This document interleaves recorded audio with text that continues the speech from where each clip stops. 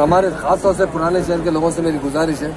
मैं देख रहा हूँ फंक्शनों में जाते एक एक हज़ार, दो दो हज़ार आदमी की दावत कर रहे हैं। बड़ा अफसोस भी होता है मुझे। एक तो पैसा भी वेस्ट किया जाता है। और कई ऐसे आख्या तो आज भी पुराने शहर के अंदर काफ़ी डेथ हुई किसी को मालूम नहीं, आप मीडिया भाइयों से मेरी गुजारिश है।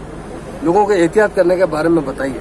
लोग एहतियात नहीं कर रहे। हैं बगैर मास्क के पूरा फिर रहे हैं। और दावतें इतनी बड़ी बड़ी कर रहे हैं। और दूल्हे से मिलते हैं, गले मिलते हैं। थोड़ा डिस्टेंस मेंटेन करें। कम से कम तीन फीट का डिस्टेंस होना ज़रूरी है। और हर आदमी मास्क का यूज़ करना ज़रूरी है। और जहाँ तक हो सके हाथों को साबुन से धोइए या सैनिटाइज से धोइए। पर एहतियात कीजिए बेहतर है क्योंकि ग्राफ बढ़ता जा रहा है।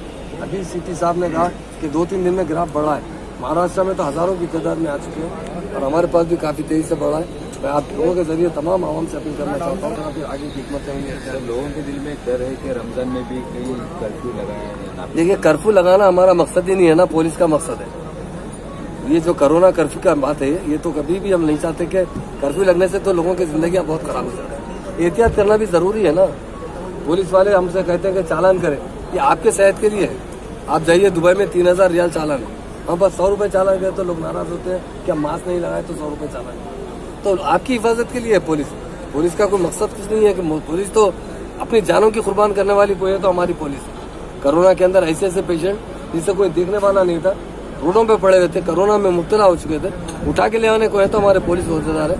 पुलिस ऑफिसर ने अपने घरों से ले जाया था दवाखाने में शरीक किया। तो मेरी तमाम मीडिया भाइयों के ज़रिए किसमें? स्कूल बंद कर शायद एक दो रोज में डिसीज़न ले लेंगे।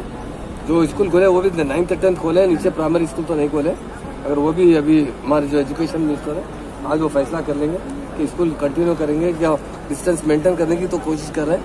पर मेंटेन करने के बाद कंट्रोल हो रहा नहीं हो रहा पहले हमारे लिए जान है। बाद में एजुकेशन है, बाकी जो भी चीज़ें हैं एम्प्लॉयमेंट है तो उसके लिए जो भी ज़रूरी इकदाम होंगे, हुकूमत लेगी। पर आप एहतियात करेंगे तो फिर कर्फ्यू की ज़रूरत ही नहीं पड़ेगी। महाराष्ट्र में कर्फ्यू आ चुका है शाम का। कर्फ्यू आने के बाद कारोबार पूरे मुतासर हो जाते हैं। लोगों के ज़रिए आमदनी खत्म हो जाती है। लोगों को जीना बड़ा मुश्किल होता है। दुनिया में इंसान के लिए सबसे अहम चीज़ अपना पेट है। पेट नहीं बढ़ता तो इंसान कुछ भी कर सकता है। तो हुकूमत नहीं चाहती कि कहीं पर भी हम कर्फ्यू लगाए। मगर अगर आगे ज़रूरत पड़ेगी तो सोचा जाएगा। मगर आप अपने से एहतियात करेंगे तो हम शायद कंट्रोल में आ जाए अगर जो प्रिकॉशन यूज़ नहीं करेगा उसको पुलिस के ज़रिए चालान